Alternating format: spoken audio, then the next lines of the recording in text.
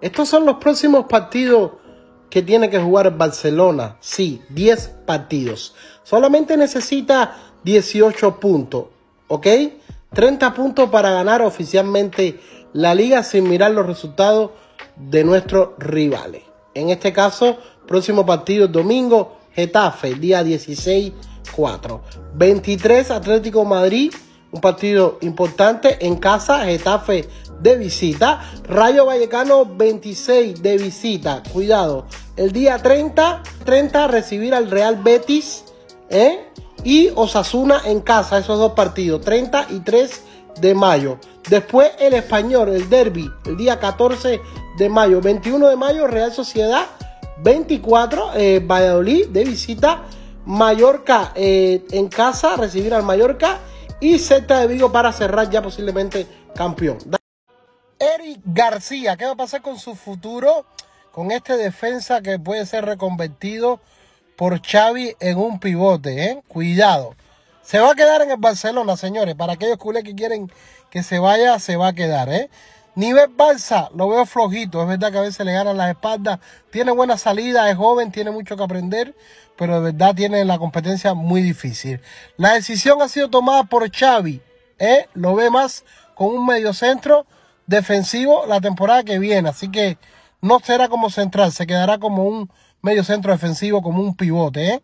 Así que déjame en los comentarios qué opinas. Eric García. A lo mejor no es un titular de nivel para el Barça, pero sí podría ser un buen eh, reemplazo para cubrir minutos.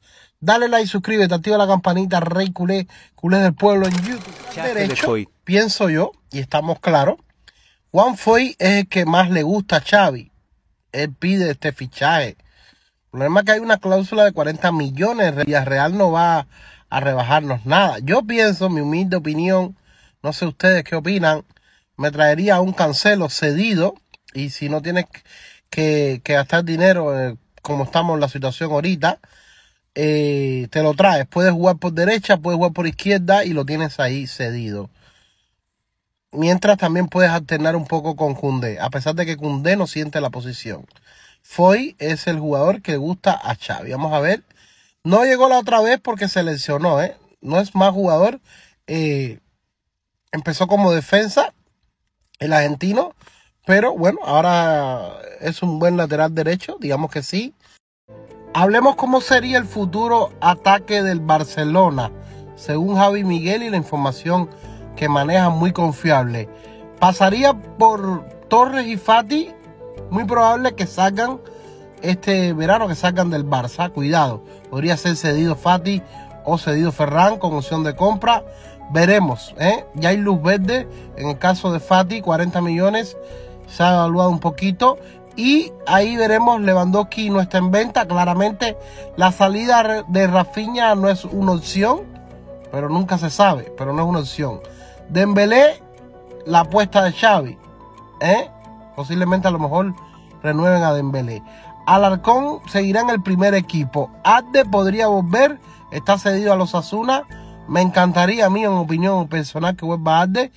Y dos fichajes. Podría ser Messi, Auba, Carrasco o Roque. Déjame en los comentarios. Ahora mismo se podría decir que es uno de los mejores laterales izquierdos que tenemos en el mundo del fútbol. Alejandro Valde, señores, la oferta de Barcelona para ampliar el contrato de Valde hasta 2027. Jorge Méndez se ha comprometido a firmar la renovación antes del 30 de junio. Se espera que en las próximas semanas las negociaciones se cierren. Señores, dale like, suscríbete. Si estás contento por esta noticia, tenemos a Alejandro Valde para rato, nuestro reemplazo de Jordi Alba. Vizca avanza hoy, mañana y siempre. Bundogan llegaría como agente libre de información de varias personas confiables dicen que Gundogan será culé a falta de firmar el acuerdo con el alemán, un nuevo jugador de Fútbol Club Barcelona. Firmará por dos temporadas más una opcional. Su ficha rondará sobre los 12 millones brutos. Me parece un jugador espectacular. De verdad que sí. Si este llega, ese mediocampo con De Jong, Pedri, Gaby, si llega también a Rabat sería interesante. Pero primero, recuerden, hay que darle salida a algunos jugadores. Necesitamos vender. Tenemos que bajar un poco ese fair play financiero de la masa salarial. Así que bueno, dale like, déjame en los comentarios si te gusta Gunduga. ¿eh? Dale. Hoy quiero felicitar a una leyenda viviente del Fútbol Club Barcelona, uno de mis ídolos, un jugador extraordinario, espectacular, el Tanzán, el Puyi, eh, ¿Qué te puedo decir de nuestro capitán, eterno capitán Carles Puyol? Eh? Un 13 de abril del 78 nacía Carles Puyol, eh, un, legendario culé, uno de los jugadores más extraordinarios que he visto yo, que me ha gustado, de los mejores defensas de la historia para mí. 593 partidos con el primer equipo, 18 goles, ¿eh? 6 ligas, 2 Copas del Rey, 5, 6 Copas de, 6 Supercopas de España, 3 Champions, 2 Supercopas de Europa, 2 Mundiales de Clubes, una carrera maravillosa, un compañerismo brutal, una entrega, garra, corazón, huevos, pelotas, Puyol define muchas cosas. Grande, que Dios te bendiga y que sigas cumpliendo muchos años más. Enhorabuena, Carles Puyón, eterno capitán. Hay esta posibilidad de que Ilai Moribá deje el Leipzig, el es del Barça, en este mismo verano. Y el Barça cuenta con un 10% de ingreso en caso de una futura venta, ¿eh? un 10%. Recordad que actualmente el jugador está cedido en Valencia. Ojalá puedan venderlo y bueno, futuro de este chico, ¿no? Ojalá que lo venda para que el Barça tenga ese 10% de ingresos. Suscríbete, estamos más activos haciendo programas directos, toda la información exclusiva del Barça en los culés del pueblo. En YouTube, suscríbete, dale like, gracias, bendiciones. Se llama Juan Luis Pulido Santana, será el árbitro encargado del partido de este domingo contra el Getafe. Señores, es la primera vez que pitará un partido del Barça. Esperemos que, no haya malos malo rollos, eh, cuidado. Y Iglesias Villanueva será el encargado del bar. Barcelona tiene que ganar sí o sí y ganar todos los partidos si quiere una liga de 100 puntos. A mí realmente me interesa ganar. Ya lo de la liga de 100 puntos, bueno, ya, ya eso se pasa a segundo plano. Hay que ganar la liga y bueno, ganarla lo más rápido posible para aprovechar los jóvenes, ¿no? Los, los jugadores que no tienen minutos y ir probando variantes y cositas. Ahí está, señores. Juan Luis Pulido Santana, primera vez que arbitrará en Barcelona. Getafe, Barça de visita. Dale. Bueno, señores, tenemos noticias de Eric García que se quedará en el Barcelona. Es una decisión que ha sido tomada y Xavi lo ve como mediocentro defensivo la temporada que viene y no como central.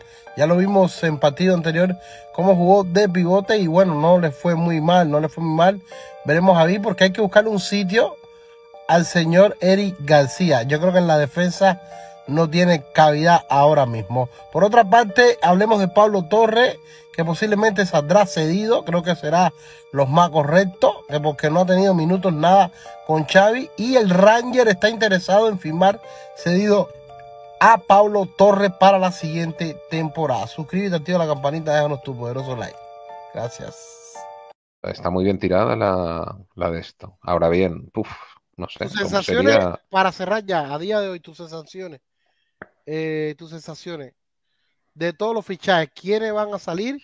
¿Quiénes van a llegar? Tus sensaciones. Bueno, yo creo que van a llegar Íñigo, Messi, Gundogan Venga, voy a arriesgar. Juan Foyz. Juan Foyz. Mm. Anrabat. No, ¿cuánto, no? Sí. Y arriba, no lo sé. Arriba. Mm, es que no, no, no me entra ya, no me cabe. ¿Y quiénes, quiénes se, se van? Y arriba, pues me quedo con tu Abde, pero yo creo que lo van a vender. Y yo creo que se van a ir Ansu Fati, Ferran.